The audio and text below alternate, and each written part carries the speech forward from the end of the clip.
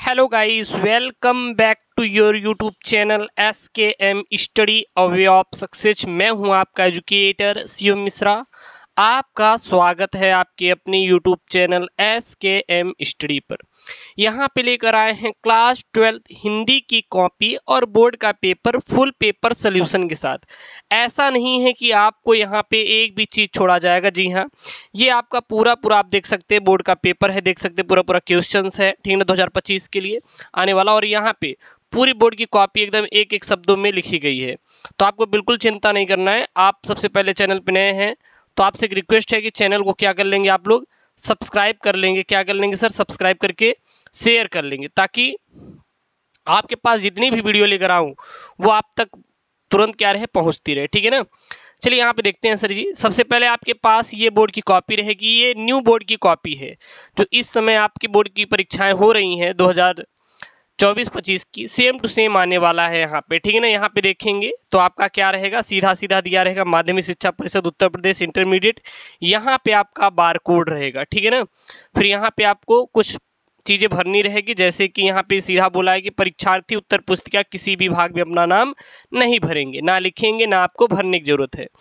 फिर यहाँ पे दिया हुआ है कि केंद्राध्यक्ष एवं कक्ष निरीक्षकों को यह अधिकार होगा कि वे परिषद की परीक्षा में सम्मिलित होने वाले परीक्षार्थियों की तलाशी ले सकते हैं। परीक्षार्थी उत्तर पुस्तिका किसी भी मतलब दिए गए निर्देशों को ध्यानपूर्वक पढ़ें और सावधानी से पालन करें। क्रमांक एक से छः तक की पूर्ति परीक्षार्थी स्वयं करेंगे। इस उत्तर पुस्तिका का प्रयोग करने से पहले परीक्षार्थी यह देख लें कि वह उसी वर्ष वर्ष का छिद्रित है कि नहीं, ये सब दिया है। उसके बाद आपको क्या भरना रहेगा यहाँ पे? परीक्षार्थी का अनुक्रमांक अंकों में, परीक्षार्थी का अनुक्रमांक शब्दों में आप भरना रहेगा। फिर यहाँ पे आपको क्या भरना रहेगा? आपका विषय। यहाँ पे प्रश्न पत्र विषय पर अंकित संकितांक, परीक्षा का दिन, परीक्षा की तिथि, केंद्र का नाम। असर इसको कैसे भरेंगे? देखिएगा। ये जो आपका रहेगा प्रश्न पत्र पर अंकित संकेतांक तीन सौ दो डी टी यहाँ पे आपको डाल देना है। प्रश्न पत्र प्रथम डाल देना है। विषय आपका हिंदी है तो हिंदी, विज्ञान है तो विज्ञान, भौतिक विज्ञान है, भौतिक विज्ञान जो रहेगा वो डाल देंगे।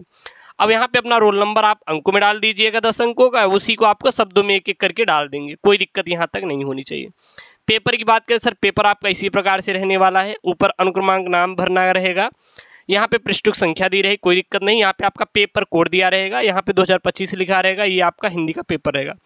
और सौ नंबर का आपका पूर्णांक रहेगा हिंदी का। देखा जाए तो पास होने के लिए केवल तैंतीस नंबर की आपको ज़रूरत पड़ेगी। समय तीन घंटे पंद्रह मिनट का आपको दिया जाएगा। प्रारंभ जो पंद्रह मिनट रहेंगे, आपको प्रश्न पत्र पढ़ने के निर्धारित रहेंगे और इस प्रश्न पत्र में दो खंड रहेंगे। दोनों खंडों के सभी प्रश्नों का उत्तर देना आपके लिए क्या रहेगा? अनिवार्य रहेगा। ठीक है ना? चलिए सर, अब हम देखते हैं कि कैसे आपको लिखना है सर, कैसे आपको करना है। सबसे पहले अगर आप यहाँ पे देखेंगे तो जो लिखने का तरीका रहेगा, करने का तरीका रहेगा। सबसे पहला अगर आप यहाँ पे देखेंगे तो यहाँ पे दिया हुआ है खंडक। आप जब भी प्रश्नों का उत्तर दे रहे हैं आप हिंदी के। तो एक बात ध्यान देना, जो खंड करना चाहते चाहे आप खंड का करिए सबसे पहले, चाहे आप पीछे की तरफ़ आएँगे तो यहाँ पे खंड ख लिखा हुआ है। जिस खंड का आपको उत्तर देना है, आप सबसे पहले उस खंड को यहाँ पे लिख लेंगे। जैसे मैं यहाँ पे खंड क का उत्तर दे रहा हूँ तो यहाँ पे खंड क को आपको लिख लेना है, ठीक है ना? उसके बाद ही आपको उत्तर देना है। जैसे यहाँ पे खंड क डाला, फिर यहाँ पे प्रश्नोत्तर संख्या पहला है। अब पहले में देखेंगे पाँच प्रश्न। क, ख, ग, घ और पीछे देखेंगे तो आपके यहाँ पे है अंगा। फिर उसके बाद दूसरा यहाँ पे चालू हो गया है। तो सबसे पहला अगर आप देना चाहते हैं तो आप यहाँ पे लिख सकते हैं प्रश्नोत्तर संख्या पहले का क। अब पहले का क क्या है?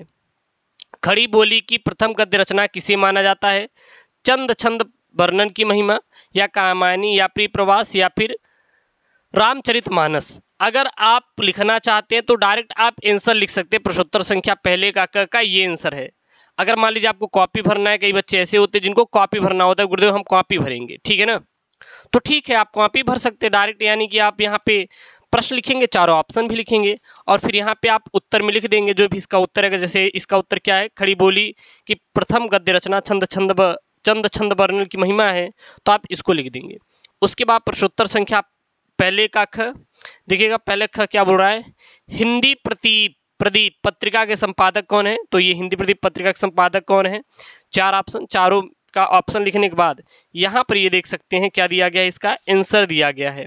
यहाँ पे इसका आंसर क्या है यहाँ पे? हिंदी प्रदीप के संपादक बालकृष्ण भट्ट हैं तो यहाँ पे देखिए दिया गया है, हिंदी प्रदीप के संपादक बालकृष्ण भट्ट हैं। ठीक है ना? उसके बाद प्रश्नोत्तर संख्या पहले का ग अब देखिएगा, ये सारा चीज़ लिखा गया तो ये मैं आपको पूरा सॉल्व भी करवा दे रहा हूँ और आपको बता भी दे रहे हैं। तो पहले क्या है? बाबू गुलाब राय की आत्मकथा है, कौन सी है? तो मेरी असफलता है, बाबू गुलाब राय की आत्मकथा है। यहाँ पे इसको उतारा गया है यहाँ पे पहले का ग। उसके बाद पहले का घ है यहाँ पे, अतीत के चलचित्र किस विधा की रचना है? अतीत के चलचित्र किस विधा की रचना है? संस्मरण है। तो यहाँ पे डायरेक्ट इन्होंने आंसर दिया, दे दिया, अतीत के चलचित्र, महादेव रमा द्वारा लिखित एक संस्मरण है। उसके बाद पहले का अंगा। अब पीछे की तरफ़ आप पढ़ खोल लीजिए अपने।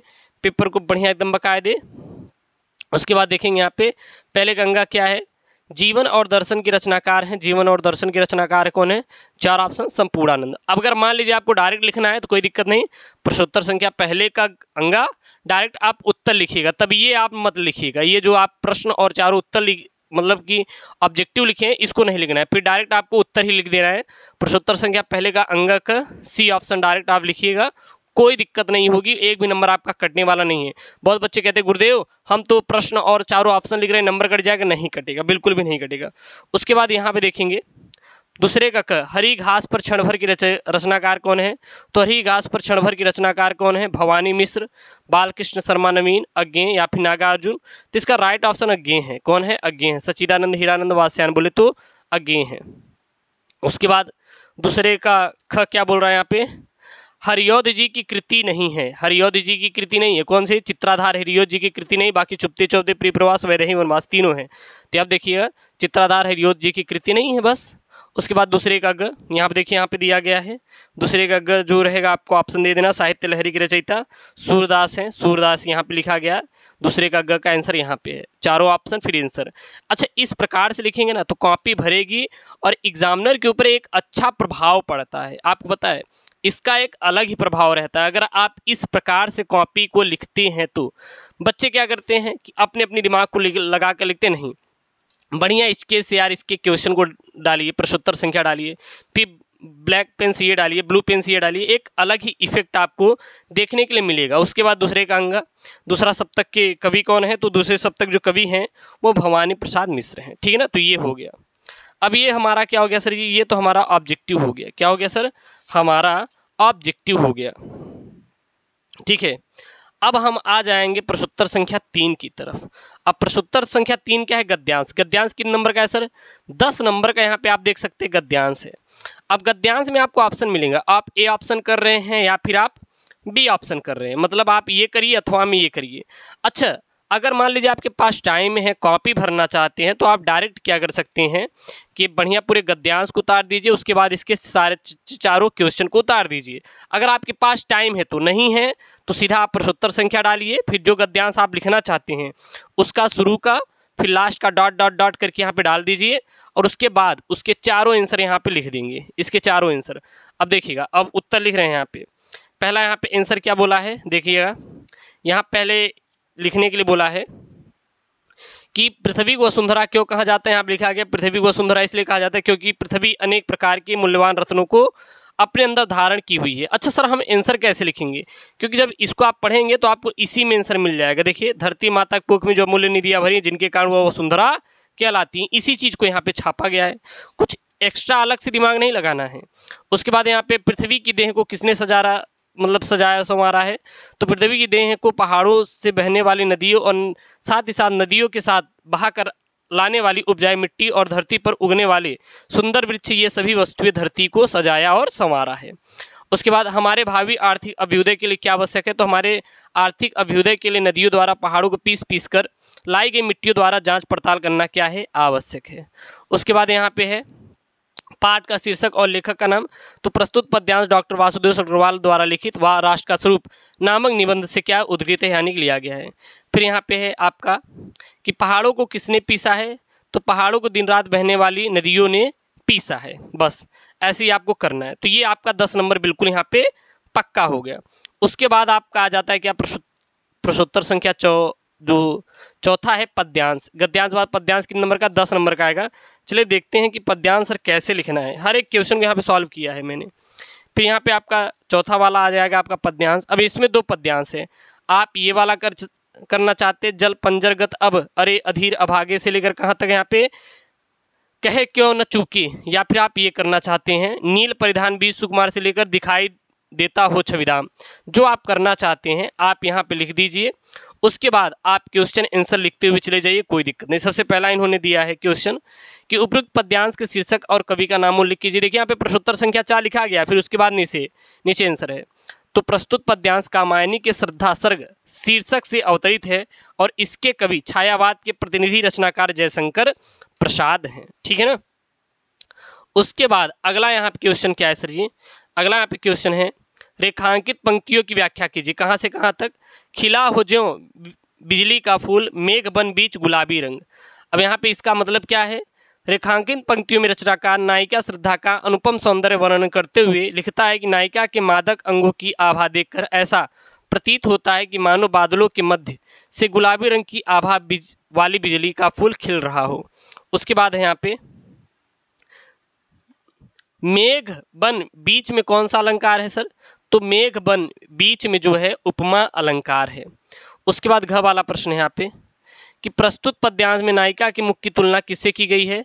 तो प्रस्तुत पद्यांश में नायिका की मुख्य तुलना सूरज से की गई है। किससे की गई? सूरज से की गई है। अगला यहाँ पे है, छविधाम शब्द का अर्थ स्पष्ट कीजिए तो छविधाम शब्द का अर्थ क्या हो जाएगा? तो छविधाम शब्द का जो अर्थ हो जाएगा वो केसों के बीच घिरा सौंदर्यमय मुखमंडल अर्थात सुंदर छवि है। उसके बाद यहाँ पे आपका पाँच का क आएगा।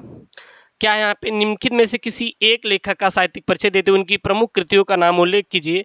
अधिकतम शब्द आपको अस्सी शब्दों में आंसर देना जो कि पाँच नंबर का है। Doctor A P J Abdul Kalam, doctor Jay Prasad Dwivedi Vasudev सरग्रवाल तो यहाँ पे तीन है। तो यहाँ पे आपको जो जिसका भी आंसर लिखना है आप यहाँ प्रश्नोत्तर संख्या पाँच का कर डालिए, तीनों का उतारिए, फिर जिसका लिखना चाहते हैं, मैंने यहाँ पे doctor A P Abdul Kalam का दिया तो doctor A P Abdul Kalam का लिख सकते हैं कि मिसाइल मैन के रूप में भारतीय जनता समेत समस्त विश्व में लोकप्रिय भारत के पूर्व राष्ट्रपति doctor A P Abdul Kalam का जन्म पंद्रह अक्टूबर उन्नीस सौ इकतीस को धनुषकोड़ी नामक गाँव में, रामेश्वर, तमिलनाडु में एक निम्न वर्गीय परिवार में हुआ था। आर्थिक अभाव में पड़ रहे कलाम ने अपनी शिक्षा की राह की सारी मुश्किलों का सामना डटकर किया तथा डीआरडीओ से जुड़कर तदंतर इसरो के मुख्य वैज्ञानिक के तौर पर भारत को परमाणु शक्ति के तौर पर विकसित किया। इतने महत्वपूर्ण पदों पर रहते हुए भी अपने प्रेरक प्रसंगों तथा वैज्ञानिक दृष्टिकोणों की भावी पीढ़ी खासकर बच्चों को साझा करने का समय दे वे निकाल लिया करते थे और ऐसे ही सत्ताईस जुलाई दो हज़ार पंद्रह को भारतीय प्रबंधन संस्थान शिलांग में एक व्याख्यान के दौरान हृदयाघात से उनकी मृत्यु हो गई। फिर उनकी जो आपको रचनाएँ लिखना लिख सकते हैं, India twenty twenty a vision for new millennium, Wings of Fire, an autobiography, Ignite Minds, Analyzing the Power Within Indian, आरोहण प्रमुख स्वामी जी के साथ मेरा आध्यात्मिक सफ़र कलाम की प्रेरणादायक कृतियाँ हैं और कलाम उच्च कोट के वैज्ञानिक लोकप्रिय राष्ट्रपति प्रेरणादायक व्यक्तित्व मानवता पुजारी तथा भारतीय युवाओं के हृदय के सम्राट थे ये डायरेक्ट यहाँ पे आप क्या कर देंगे सर मेंशन कर देंगे उसके बाद आप इधर देखेंगे तो फिर एक लेखक के बाद क्या आएँगे सर कवि आएँगे अब देखिए, कवि कौन है सर जी? कवि है यहाँ पे, आप देख सकते हैं। पूरा मैंने अच्छे सॉल्व किया, टेंशन मत लेना। जैसे, देखिए, यहाँ पे निम्नलिखित में से एक कवि का साहित्यिक परिचय देते हुए उनकी प्रमुख रचनाओं का उल्लेख कीजिए। अधिकतम शब्द, अस्सी शब्दों में आंसर देना है, पाँच नंबर का, जयशंकर प्रसाद सुमित्रा रामधारी सिंह, दिनकर। तो यहाँ पे देखेंगे, क्या लिखेंगे यहाँ पे? निम्नलिखित में से किसी एक कवि का साहित्यिक परिचय देते हुए उनकी प्रमुख रचनाओं का उल्लेख कीजिए। तीन ठो हैं। तो मैंने यहाँ पे सुमित्रानंद पंत का दिया है तो सुमित्रानंद पंत का बढ़िया हेडिंग डालिए।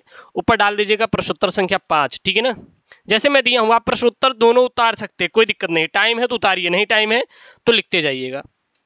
प्रगति के सुकुमार कवि, सुमित्रानंदन पंत का जन्म उत्तराखंड के कुमायूं प्रांत के कौसानी नामक ग्राम में सन उन्नीस ईस्वी में हुआ था। बचपन से ही कवि हृदय सुमित्रानंदन पंत ने उच्च शिक्षा के लिए प्रयागराज का रुख किया और इसे ही अपनी कर्म स्थली भी बनाया। सन 1942 में लोकायतन नामक संस्कृति पाठ का निर्माण किया और अरविंद दर्शन का प्रभाव उनके कार्य पर भी पड़ा।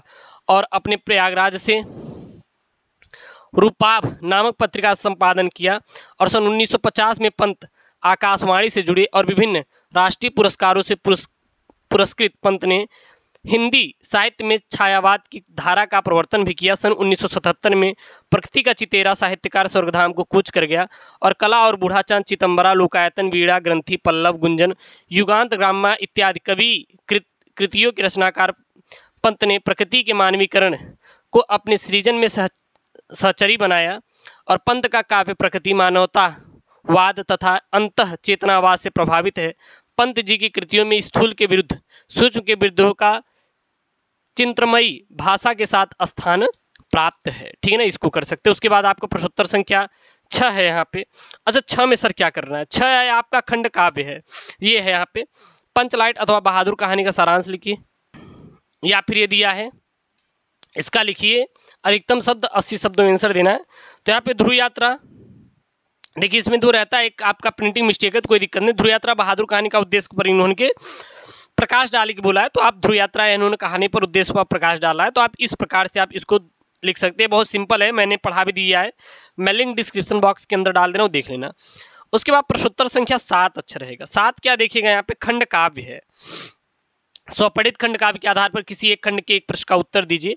ये खंड काव्य पाँच नंबर का आएगा। आपके हर ज़िले के अनुसार रहेगा अलग अलग ज़िले से रहेगा। जैसे मुक्ति यज्ञ है, रश्मिरथी है, त्यागपति है, आलोक वृत्त है फिर आप देखेंगे सत्य की जीत है। श्रवण कुमार है, ये आपके अपने ज़िले के अनुसार है तो आप अपने ज़िले के अनुसार लिखेंगे। ऐसा नहीं जो यहाँ पे लिखा गया है, उसी को उतार देंगे नहीं, ऐसा नहीं करना, बल्कि प्रश्नोत्तर संख्या सात लिखने का तरीका देख लीजिए। बाकी आप अपने अनुसार इसको लिखेंगे, आप अपने ज़िले के अनुसार। यही मत छाप दीजिएगा, ठीक है हर ज़िले का अलग अलग खंड काव्य है तो आप अपने ज़िले के खंड काव्य के अनुसार करेंगे। उसके बाद खंड ख की यहाँ पे शुरुआत होती है। जो खंड ख की शुरुआत होगी, वो आपका संस्कृत के गद्यांश और पद्यांश शुरू होगा। यहाँ पे देखेंगे दो है, पहला है आठ का क दिए गए गद्यांशों में से किसी एक का संदर्भ सहित हिंदी अनुवाद कीजिए। दो यहाँ पे संस्कृत के गद्यांश दिए हैं। किसी एक का आप आंसर देंगे। सात नंबर आपका यहाँ पे फिक्स है। चलिए देखते हैं सर कैसे आंसर देना है। तो यहाँ पे है आपका बढ़िया प्रश्नोत्तर संख्या आप डालिएगा, खंड डालिएगा, उसके बाद जो भी आपको देना है। जैसे यहाँ पे मैंने इसका आंसर दिया है, महापुरुषा लौलिक प्रलोभ ने बद्धा को हम लोग नात्यजत तक हमने यहाँ पे इसका आंसर दिया तो आप इसका उतारिए, फिर इसका संदर्भ लिखिए। प्रस्तुत पर गद्यांश हमारी पाठ्य पुस्तक संस्कृत दिनदर्शिका की महामना मालवीय पाठ से क्या लिया गया है उद्घृत है। उसके बाद इसका हिंदी पूरा लिख दीजिए। क्या महापुरुष सांस्कारिक प्रलोभन में फंसकर अपने निश्चित लक्ष्य से कभी भी भ्रष्ट नहीं होते? देश की सेवा में अनुरक्त यह युवक उच्च न्यायालय की सीमा में न रह सका। पंडित मोतीलाल नेहरू, लाला लाजपत राय आदि अन्य राष्ट्रीय नायिका के साथ वह भी देश के स्वतंत्रता संग्राम में उतर पड़े। दिल्ली में कांग्रेस के तेईसवें अधिवेशन में इन्होंने अध्यक्ष पद को सुशोभित किया और रॉलेट एक्ट के विरोध में इसके ओजस्वी भाषण को सुनकर अंग्रेज़ शासक भयभीत हो गए और बहुत बार जेल में जाने, डाले जाने के पर भी मतलब पर भी इस वीर ने देश की सेवा का व्रत नहीं छोड़ा। उसके बाद आपका आठ का जो ख है, यहाँ पे देखिएगा। अब ख क्या है? प्रश्नोत्तर संख्या आठ का ख, आपका श्लोक है। देखिए आठ का ख है ये। दिए गए श्लोक में से किसी एक का संदर्भ सहित हिंदी अनुवाद क्लिक करिए। आप दो है, एक ये है, विद्या विवादाय से लेकर चरक्षणाय तक है, एक जयंत ते से लेकर क्या है, क्वचित तक है। दोनों में से किसी एक का देना है तो यहाँ पे विद्या वाला दिया गया है आंसर। तो बढ़िया, इसको उतार लीजिए। फिर इसका संदर्भ लिखिए और हिंदी अनुवाद लिखिए। प्रस्तुत श्लोक हमारी पाठ्यपुस्तक संस्कृत दिनदर्शिका के सुभाषित रत्नान नामक पाठ से उत्तरित है। इसका अनुवाद क्या हो जाएगा? दुष्ट की विद्या विवाद के लिए। धन, मद के लिए और शक्ति दूसरों को पीड़ित करने के लिए होती है। इसके विपरीत सज्जन की विद्या ज्ञान के लिए, धन दान के लिए और शक्ति दूसरों की रक्षा के लिए होती है। फिर यहाँ पे आए, आ जाएँगे आप तो प्रश्नोत्तर नंबर नौ आएगा। ठीक है नौवा क्या बोल रहा है? नौवा यहाँ पे बोल रहा है किमखित यहाँ पे है, निम्नलिखित मुहावरे और लोकोक्तियों में से किसी एक का संदर्भ लिखकर वाक्य प्रयोग कीजिए। अपने पैरों पर खड़े होना, उल्टी गंगा बहाना, गूलर का फूल होना, मक्खन लगाना, यहाँ पे आपके चार हैं। तो किसी एक का आंसर देना तो किसी एक का आंसर दिया गया यहाँ पे कवाले का, अपने पैरों पर खड़ा होना, यानी कि हाँ उम्मीद से परे काम करना, ठीक है ना? अर्थात राम माता पिता बहुत खुश है, क्योंकि राम की नौकरी पाकर वो पैरों पर खड़ा हो गया। उसके बाद ये आठ, जो प्रश्नोत्तर संख्या दसवां इसको हम स्किप कर रहे हैं, क्योंकि आपका अपठित गद्यांश पद्यांश है। तो इसको हम लोग आगे ऐड कर देंगे। ठीक ना? यहाँ शुरू कर रहे हैं। ग्यारह शब्द युग यहाँ पे दिया रहेगा। शब्द युग्मों का सही अर्थ चयन करके लिखिए। जलद, जलज, अवलंब और अभिलंब, दो हैं यहाँ पे। तो जो चार ऑप्शन रहेंगे, जलद और जलज का यहाँ पे है तो चार ऑप्शन रहेंगे। जो इसका आंसर रहेगा राइट वाला, यहाँ पे आप लिख दीजिएगा, जलद और जलज का सही युग्म, बादल और क्या होता है? कमल होता है। अवलंब और अभिलंब का क्या होता है? तो ये होता है, सहारा और शीघ्र होता है, इसको आप लिख दीजिएगा। उसके बाद यहाँ पे ग्यारह का ख देखिए क्या है यहाँ पे। शब्दों में से किसी एक शब्द के दो अर्थ लिखना है। मतलब कि यहाँ पे तीन दिए हैं, अच्छत कर और द्विज। तो अच्छत का यहाँ पे लिखा गया है? अखंडित और जिसके खंड या टुकड़े न हो, धन का ला, धान का लावा भी होता है। कर का क्या होता है? टैक्स हाथ द्विज का क्या होता है? ब्राह्मण और जन्म लेना होता है। इसको यहीं पे आंसर मैंने करवा दिया है, ठीक है ना? अगला आप नीचे देखेंगे तो आपका जो प्रश्न आएगा वो आएगा ग्यारह का ग। ग वाला क्या है? थोड़ा ध्यान ध्यान दीजिए। ग वाला है वाक्यांशों के लिए एक शब्द का चयन करके लिखना है। जैसे यहाँ पे किए गए उपकार को न मानने वाला कृतज्ञ कहलाएगा, घृणा के योग्य क्या घृणास्पद कहलाएगा? तो बस ऑब्जेक्टिव तरह इसको भी यहाँ पे उतारा गया आप देख सकते हैं यहाँ पे। ये प्रश्न, इसका आंसर ये प्रश्न, घृणा के योग्य, इसका आंसर यहाँ पे घृणास्पद हो जाएगा। फिर यहाँ पे शुद्ध, अशुद्ध वाला है। क्या है शुद्ध, अशुद्ध वाला है? निम्नलिखित में से दो वाक्यों को शुद्ध करके लिखना है। यहाँ पे कितने सर दिए हैं? तीन दिए हैं। कितने दिए हैं सर? तीन दिए किसी एक को लिखना है। जैसे महादेवी विद्यान कवित्री थी, मैं भोजन कर लिया हूँ। कृपया मेरे सामान पर निगाह रखने कृपा करें, तुम मेरे से मत बोलो तो यहाँ पे चार है तो यहाँ पे दो का इन्होंने आंसर दिया है, ठीक है ना? फिर रस छंद अलंकार है, देख सकते हैं यहाँ पे, बारक क, ख, ग।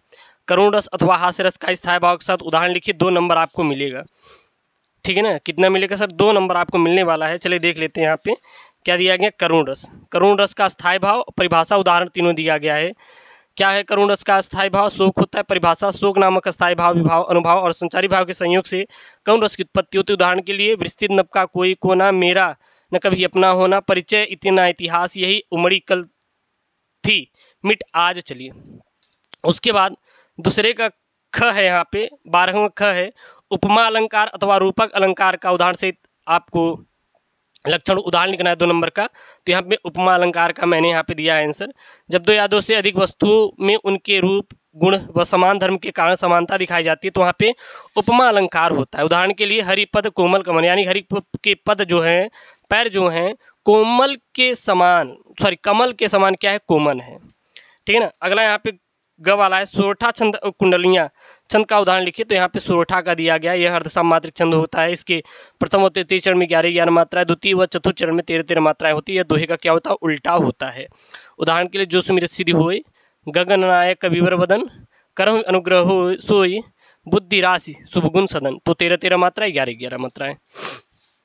ठीक है, उसके बाद आपका यहाँ पे सर क्या है? यहाँ पे जो तेरहवा नंबर वाला है तेरहवा नंबर आपका जो है, ये सर, ये पत्र लेखन है। सर, है क्या यहाँ पे? किसी बैंक की शाखा प्रबंधक को पुस्तक एवं लेखन सामग्री दुकान खोलने के लिए ऋण प्राप्त के लिए एक आवेदन पत्र लिखिए अथवा नगर में अपने मोहल्ले की नालियों को साफ़ करने के लिए नगर पालिका अध्यक्ष को एक आवेदन पत्र लिखिए। तो आप जिस पर लिखना चाहते हैं, आप उसको लिखिएगा। सबसे पहले प्रश्नोत्तर संख्या डालिएगा तेरह। फिर किसी बैंक की शाखा प्रबंधक को पुस्तक एवं लेखन सामग्री दुकान खोलने के लिए ऋण प्राप्ति के लिए आवेदन पत्र, बढ़िया लिखेंगे उत्तर सेवा में शाखा प्रबंधक, State Bank of India, Handia शाखा प्रयागराज विषय ज़रूर डालेंगे। पुस्तक एवं लेखन सामग्री दुकान खोलने के लिए ऋण प्राप्त करने के संबंध में फिर लिखेंगे महोदय, निवेदन है कि मैं एक शिक्षित, बेरोजगार युवक हूँ। स्वरोजगार हेतु अपने निवास क्षेत्र में पुस्तक एवं लेखन सामग्री दुकान खोलने का इच्छुक हूँ। इस संबंध में आपके बैंक द्वारा जारी सभी दिशा निर्देशों का पालन करते हुए मैंने सभी आवश्यक कागजात इस आवेदन पत्र में साथ संकलन कर दिया है। तो आपसे प्रार्थना है कि आवेदन पत्र पर सहानुभूत विचार करते हुए मुझे यथाशीघ्र ऋण प्रदान करने कृपा करें। फिर भवदी अवश्य फिर संलग्न यहाँ पे लिख देंगे। फिर यहाँ पे आपका लास्ट वाला जो आएगा, वो सर ये आपका क्या आएगा? निबंध लेखन। जी हाँ पाँच निबंध, चार निबंध यहाँ पे। मेरे प्रिय कवि, नवीन शिक्षा पद्धति पर्यावरण प्रदूषण, विद्यालय में स्वास्थ्य शिक्षा तो ये अपनी भाषा शैली में लिखेंगे, नौ नंबर का है।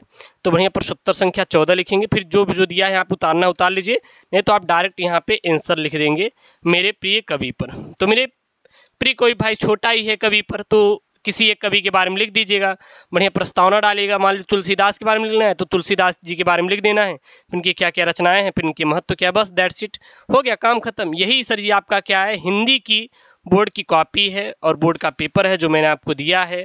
ऐसे ही आपको लिखना है, ऐसे ही आपके पेपर में सर ये आएगा। बहुत ज़्यादा आपको परेशान नहीं होना है, बहुत ज़्यादा करना नहीं है। जो मैं आपको दिखाया हूँ, जो मैं आपको सिखाया हूँ, बस यही करना है। और आपको कुछ भी नहीं करना है, आराम से पूरा आपको नंबर मिलेगा। ये मेरी गारंटी है सीम गारंटी है। ऐसी वीडियो चाहिए तो प्लीज़ यार चैनल को सब्सक्राइब करिए, वीडियो को लाइक करिए, क्योंकि बोर्ड परीक्षा 2025 की तैयारी बेहतरीन तरीके से एस स्टडी करा रहा है। आप चैनल से ज़रूर जुड़िए। ओके दोस्तों, thank you Jayant take care bye bye